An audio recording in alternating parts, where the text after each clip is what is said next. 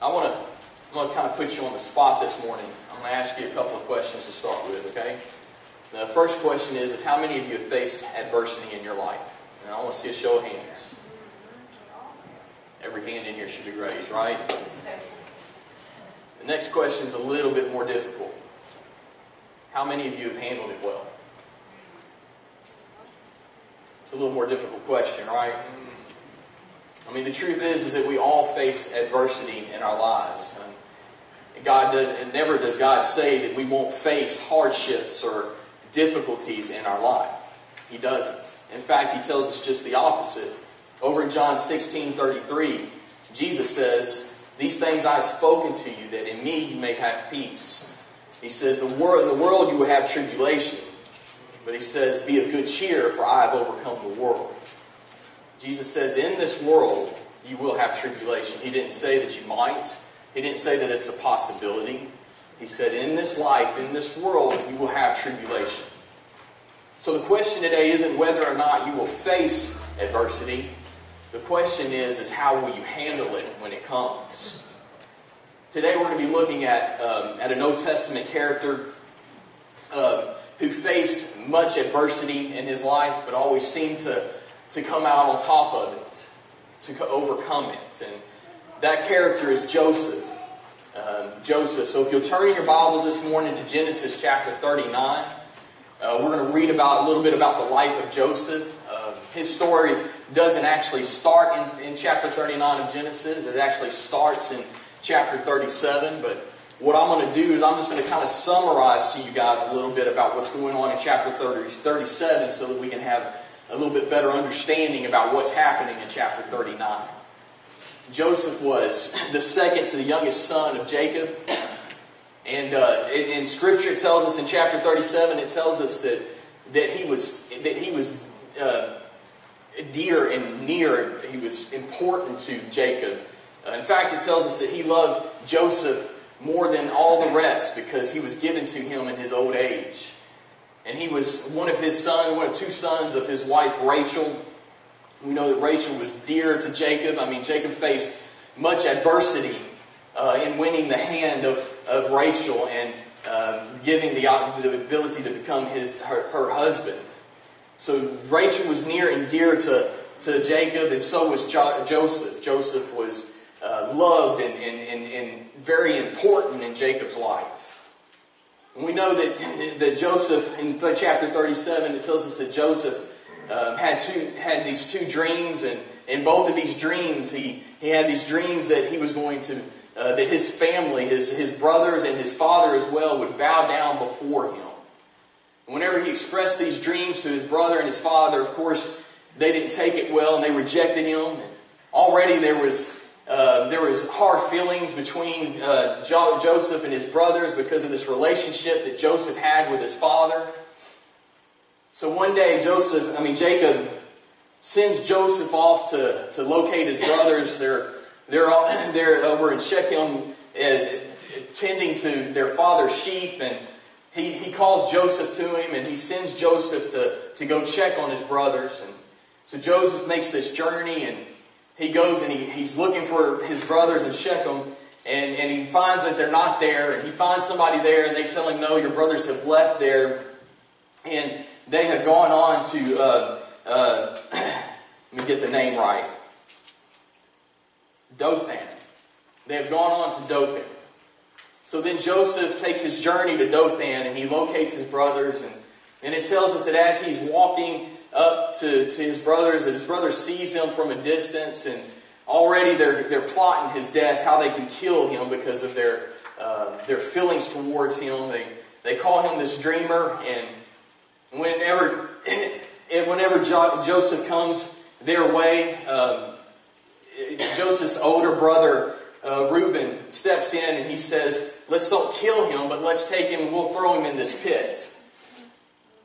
And his intentions were when his brothers were off doing their own thing, he was going to help Joseph and take him back to his father. But before he could do that, before he could do that, uh, they, they noticed a, a, group of Ishmaelites coming, a band of Ishmaelites, and, and they said it's more profitable for us to, uh, to sell our brother into slavery than it would be to kill him. So let's sell him into slavery. So Joseph is then sold into slavery, and the Ishmaelites then take Joseph to Egypt, and they sell him to Potiphar, who was a captain of the guard of Pharaoh. And that brings us here to chapter 39. But before I go into reading to you some passages of scriptures here, I want to I want to make the point to you. I want to point this out to you or ask you another question. Did Joseph not face some great difficulty through this situation? Did he not face adversity here? I mean, did he not? I mean, to, can you imagine to be to experience that kind of rejection from your own family, to for them to plot to kill you and then throw you into a pit and then sell you into slavery? I mean, surely this had to have been a difficult time for, for Joseph. He is facing great adversity here. And that's why these next couple of passages of Scripture just will make you think a little bit. How in the world, after facing what he had faced, uh, what kind of, how he could prosper and grow in his situation. And in verse 2, in verse 2 it says, The Lord was with Joseph. And if you have a pen, I want you to underline that. The Lord was with Joseph. And some of you might be thinking, are, are you serious? The Lord is with Joseph? I mean, he was thrown into a pit, rejected by his, his, his brothers, thrown into a pit. Their plan was to kill him, destroy him. He was sold into slavery, taken from his home, from this father who cared about him deeply. And yet, this man it was it's said of here in verse 2 that the Lord was with Joseph. In spite of his hardship and in spite of his adversity, the Lord was with Joseph. And it says that he was a successful man and he was in the house of his master, the Egyptian. And his master saw that the Lord was with him and that the Lord made all he did to prosper in his hand. Listen, we all face hardships and difficulties in life. Every one of us, none of us are immune to adversity in our, in our lives. But really, what defines us is how we handle those adversities. I mean, I'm sure, I'm sure Joseph had a, had a choice to make. He, he probably came to a fork in the road, and he could go left or he could go right. I mean, he could make the choice to fall into this pit of despair and sorrow and grief or he could take the other route to say, in spite of my circumstances, in spite of where I'm at, listen, I'm going to follow the Lord. I'm going to seek the Lord. It tells us that the Lord was with him and that the Lord, and listen, that, that everything that he did prospered in his hand because the Lord was with him. I mean, this, surely this wasn't his ideal situation. This wasn't his plan or his, his dream for his future to be a slave in Potiphar's house? Surely not. I mean, surely after receiving these dreams of his family bound down before him, surely his thoughts were, were greatness. You know, he was going to have be a great ruler, a great leader of some sorts. And now he's ended up as a slave to Potiphar. But yet everything that he did prospered at his hand because the Lord was with him. You know, let me tell you, church, this is a perfect example of how people watch us as, as believers, okay? As Christians. It says, and the master saw that the Lord was with him. And in other words, Potiphar saw something in Joseph that made him realize that, listen, the Lord is with this man. And we're talking about an unbeliever. We're talking about a pagan who noticed within this man, this young man, that something was different about him. And, and because everything that he touched, everything that he did prospered. This is something that the Lord must be with this young man. And it says in verse 4, it says, So Joseph found favor in his sight and served him. Then he made him overseer of his house and all that he had put under his authority. You see, Joseph faced great adversity but yet somehow he came out on the top of it. Amen? Why? Well, because the Lord was with you. Because the Lord was with you. But how many of you know that adversity comes and it goes, and then sometimes it comes again, right? I mean, we don't just face one tribulation or one difficulty in our lives and that's the it, you know, the end of it. I mean, sometimes life can feel like a roller coaster, right? Where it's full of ups and downs and twists and turns, and sometimes we don't even know which way is up, right? Well, it's no different for Joshua, for Joseph. Joseph was at this high point once again. He was first he went to a pit then he was sold into slavery, and then he became master over his slave, uh, his master's house. But then, but then one day, Potiphar's wife sees, looks at Joseph, and she desires him, and she starts to tempt him and entice him. And he keeps refusing her and refusing her. Because of why? Well, because of his integrity, for one. He, he, he didn't want to dishonor his master. And for another, he didn't want to dishonor his God. He says, Why should I lay with you and sin against my God? You see, the Lord was with Joseph.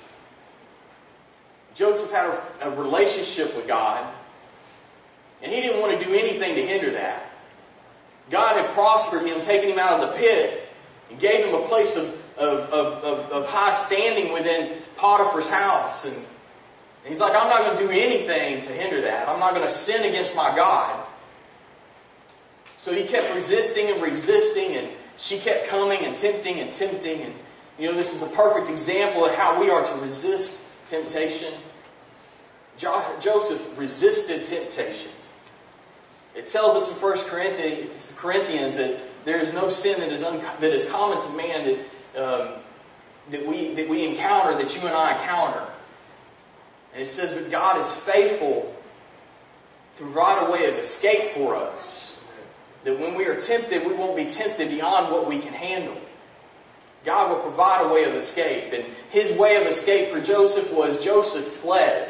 And when he fled, he left his garment behind him as she had a hold of him. And we know that, that Potiphar's wife then goes to the men of the house and, and accuses Joseph of, of, of, of assault and and then Joseph is in, placed in prison and went from one adversity to another, one hardship to another. In Matthew chapter 5, verse 16, it says, Let your light so shine before men that they may see your good works and glorify your Father in heaven. You see, what set Joseph apart is, is that, listen, when even in his adversity, even in his tribulation and his hardship, listen, he let his light so shine. He didn't let it hinder him from being a witness for his Lord, to being an example for others. And God prospered him and grew him in that, in every situation. And it was no different in this situation as he was placed into prison. And in, in prison, it tells us once again, if you look at verse 21, it says, But the Lord was with Joseph once again and showed him mercy, and he gave him favor in the sight of the keeper of the prison. And if you look down at verse 23, it says, The keeper of the prison did not look into any uh, look into anything that was under Joseph's authority because the Lord was with him, and whatever he did, the Lord made it prosper. See the similarities here? I mean, he faced his first hardship of being thrown in the pit, sold into slavery, and, and it tells us that the Lord was with him and that the Lord made everything that he did prosper at his hand. And for that reason, Potiphar placed him in a high position within his household. Gave him complete authority over his household. But he goes from that high point back to another low point as he's accused of, of, of assaulting Potiphar's wife and thrown into prison but yet the Lord was with him. And yet the Lord made everything that, that he did prosper at his hand. And the, and, the, and the keeper of the prison saw how the Lord was with Joseph and how everything prospered at his hand and put him once again in a place, in a position of authority, having complete authority over the prison and the prisoners. See, when we face adversity, church, that's not the end of it. we must keep our eyes and our focus on our Lord and remember that He's with us. And maybe you're here today and you're thinking, you know what, Randy, you don't know what you don't know what I'm facing right now, what I'm dealing with. You don't know what I have dealt with in the past. And, and you know what? I don't. I don't. But I've seen how the word Lord works, okay? In others' life, in my own personal life, and I'm telling you, if the Lord is with you, if the Lord is with you, you can overcome your adversity. He can deliver you from it. And listen, there's a, there's a time and a season for everything. It tells us in Ecclesiastes uh, chapter 3, verse 1, Solomon writes, he says, To everything there is a season, a time for every purpose under heaven. We are not exempted from hardship. We're not exempted from adversity in our lives. But if God is with us in it, then we can get through it. And listen, God can even make us prosper in our adversity. Yes. Thank you, Jesus. Because listen, everything that we face in life, every hardship, every trial and difficulty is a time for us to grow, okay? To be strengthened in our faith, to grow in our understanding and our knowledge of who our Lord is. Joseph faced much adversity, but yet God prospered him where he was at. Adversity is not the end, okay? It's just part of the process as we are being set apart for God, as we are growing in Him, as we are learning from Him. We talked about last week about being yoked to Jesus and how when we're yoked to Him, we learn from Him. That's uh, speaking to our discipleship as He's growing us. Well, part of that discipleship process is the fact that we face tribulations in our lives. Everything is for the purpose of our growth. Joseph, once again, found himself in a place of adversity, great tribulation, great hardship, but yet the, Lord, the Lord prospered him and grew him where he was. He became head over the, the, the prison system, captain of the, of the, the, the prisons, uh, prisoners, and, your, and the Lord used him in that manner. And we know, if you look at continue on reading through verse 40, that there was uh, two other prisoners. There was uh, the butler, there, and there was the, uh, the, the, uh, um, the, the head chef, the chief chef, chief baker, who were in prison, who Pharaoh had thrown into prison. And they too had dreams, and, and Joseph heard about their dreams and said, The Lord uh, is the interpreter. And he interprets their dreams and they're, they are set free. They're, going, they're, they're brought to, to Pharaoh and uh, the, the, the, the butler is, is loses his life. He's hung and the chief uh, baker is spared just like Joseph had uh, interpreted their dreams and their dreams came to fruition. And, and then later on we see where Pharaoh had had a dream, and and the, the chief uh, the chief baker then told him that there's a man that can interpret your dream.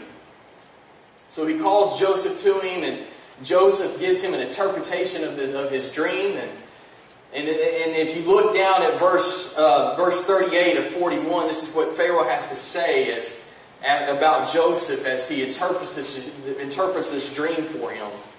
In verse 38, it says, And Pharaoh said to his servants, can we find such a one as this, a man in whom the Spirit of God? Once again, God delivers Joseph from his adversity, his hardship, and places him in a position of high authority. It tells us that Pharaoh puts, uh, puts, puts Joseph in a position over all the land, that there's no one above uh, Joseph except for Pharaoh, that he is directly under Pharaoh. And for seven years, they have a, a, a they have a, a, time, a season of plenty, and then for seven years, there's going to be a great uh, drought and a great um, um, famine. And then we see where Joseph marries uh, a woman from a, of the high priest of Potiphar. I can't say that word right, so I'm not even going to try. But you see how God has taken from one adversity to the next, and how God has restored, and how He has brought forth and healed and placed him in positions of authority once again, and how God has done all of this because of why? Because well, because the Lord was with Joseph. And, and I want to encourage you today that the Lord is with you, okay? Yes. If you're in your hardship and you're, you're in your time of adversity I, and, and you're a believer in the Lord, then listen, the Lord is with you. And you know, and he goes on, he, he marries, and then he has children. He has two sons. And, you know, I've never, I've never put a whole lot of uh, thought into to names, I guess. I, when we named our children, you know, I didn't, we didn't try to seek out some deep meaning to, you know, for our reason, for our purpose of naming our children. Um, honestly, I tell you the truth. What I, when we named Ryan, we named him Ryan because that was my alias as a teenager when I would go and visit my, my cousin in, in Dallas. You know, when I was here, I was Randy, but when I was up there, I was Ryan. and I had a, I had a, a, second degree black belt in karate, and I had a whole different reality over there in Dallas. and I was a teenage boy. I was trying to impress the, the ladies, okay, just like any other teenage boy, right? But I, you know, Ryan was always one of my favorite names. So when Ryan was born, you know, we, we decided we were going to name Ryan Ryan. Now, when we named Cody, it was nothing, you know, nothing great. I picked his name as well. Nikki gave me the privilege of doing that. And, and uh, I had a good friend in high school whose name was Cody. And, and Cody was this, he was a bodybuilder in school. He's one of the toughest dudes in school, you know. And uh, he, I mean, he did competitions in high school. And could outlift anybody. So you know what? I said, you know, I'm to name my son Cody. you know, see, because uh, Cody was a cool dude. You know, so you know we named Cody Cody because of that reason. And Cowboy, well, let me let you in on a little secret. His name's not really Cowboy. Okay, even though that's what everybody knows him as is Cowboy. You know that that's not his birth name. That's not what we gave him at birth. He changed his name when he was I don't know maybe two, three years old. Uh, he changed it to Cowboy, wouldn't let us call him anything else. But uh, Nikki picked his name. She, his name is Jonathan Steele. Um, and she named him Jonathan because, you know, John is a prominent name in her family. Her dad's name is John. Her brother's name is Johnny. So she said, I want a son that's named John. So we named him Jonathan. I wish I could tell you that we named him Jonathan because it was a biblical name. But, you know, that was BC. That was before Christ, to be honest with you. So uh, but she, she wanted to name him Jonathan. But nothing significant, you know, nothing of importance. There was no reason, rhyme, or really rhyme or reason why we named our sons what we named them. But Joseph named his children specifically these names. And I want to, I want to talk to you a little bit about these names. In verse 51 and 52 of chapter 41, it says, Joseph called the name of the firstborn Manasseh for God has made me forget all my toil and all my father's house. In other words, he's saying, listen, the Lord has caused me to just forget about all that turmoil that I experienced from being thrown in the pit, the rejection that I, that I experienced from my family. That, that God, God has restored me, has, has helped me to forget all of that that I suffered in my father's house. And then he calls, and then his other son in verse, in verse 52, it says, In the name of the second he called Ephraim. For God has caused me to be fruitful in the land of my affliction. In other words, listen, even though I'm in Egypt here and I've been a slave, I've been a prisoner, even though in my adversity God has caused me to be fruitful in the land of my affliction. You see, God had done a work in Joseph, even in spite of the adversity that he faced, and, and brought about healing and restoration in his life. And that's available to you and I. That when we face adversity, listen, church, God's still doing a work. When we're facing hardship, listen, God still has a purpose for it. And God had given Joseph a dream. And And I and listen, every step that we see that is happening here in Joseph's life is in preparation to get him to a particular point. His purpose was that he would deliver his family, deliver Israel from this famine. And that he would he would he would restore them and hold them safe and secure even though they were going to experience this great famine. And I love one of my favorite passages of Scripture is, is, is Genesis chapter 50, verses 19 and 20. You can turn there in your Bibles for a moment.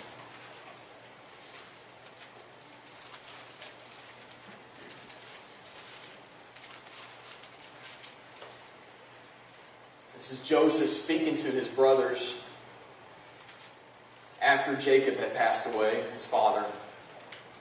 And he says, it says, Joseph said to them, Do not be afraid, for I am in the place of God.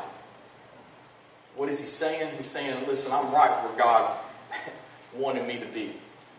I'm right where God has me. He says, Don't be afraid. Don't be afraid because I'm right where God wanted me to be You see, he had to take him through a pit. He had to take him through slavery and imprisonment to get him to this place. Right now, you may be facing something of difficulty in your life. And it just may be that God has got to get you here before he can get you there. It may just be that you have to go through this in order to get to there. Joseph had to face all of that in order to get to this place. And he says in verse 20, he says, But as for you, you meant evil against me, but God meant it for good, in order to bring it about as it is this day to save many people alive. See, all of that that Joseph was facing, all the hardship, all the struggle, the pit, slavery, prison, all of that was for the purpose of saving many lives, of securing Israel. We know that we know that God had given Abraham a promise, and that uh, that his that through his seed he would he would make a great nation. And we know that Jacob we know that Jacob wrestled with God on the mountain. And in that time of wrestling, he, he tells God, I'm not going to let go of you until you bless me. And the Lord changes his name at that moment. He changes it from Jacob to Israel, he says, because you have, you have prevailed against men, both men and God. And he changed his name to Israel. This is all in working to building of this, this promise that he had given to Abraham to build this great nation of Israel. And this was all part of God's plan of, of keeping that nation secure. And Joseph was a part of that plan. And even in spite of all the hardships and the adversity that he faced, God brought it back, took him from that place of, of adversity to a place of him realizing that I'm where I need to be. I'm here because God has gotten me here. I'm in the place of God. I am right where God has me. And what about you? I mean, what's your struggle this morning? Are you in the middle of your adversity? Are you are in the middle of your tribulation, your trial, and, and you're thinking that, and you're thinking that, you know, there, what is the purpose of all of this? Well, it very well could be to get you to where God's taking you. You just have to remember the Lord's with you. And, the, and that the Lord can prosper you even in your affliction. Yes. That the Lord can do a great work even in spite of the great hardship that you are facing. James tells us, Count it all joy, brethren, when you're faced with many trials and tribulations. And we just can't fathom that. How in the world do we find joy in tribulation? Well, he says because there's a plan for it, there's a purpose for that tribulation. Right. That tribulation is to grow you in character and strength and faith and to restore you. You know, I think about what Jesus told Peter. He said, Peter, Satan has asked that he may sift you as wheat. And he says, but when you return to me, he says, strengthen your brother. In other words, listen, Satan's going to take you for a moment. He's going to sift you as wheat. And when he's done with you, that's when I can use you. Have to go through those hardships in life because, listen, church, that's what, that's what strengthens us in our faith, and our walk. We have to remember that the Lord is with us. Joseph was never in any of these situations without the Lord not being with him. So is the Lord with you? And if the Lord is with you, then you can overcome your adversity. You can come out on top of it. Okay? It doesn't have to rule over you.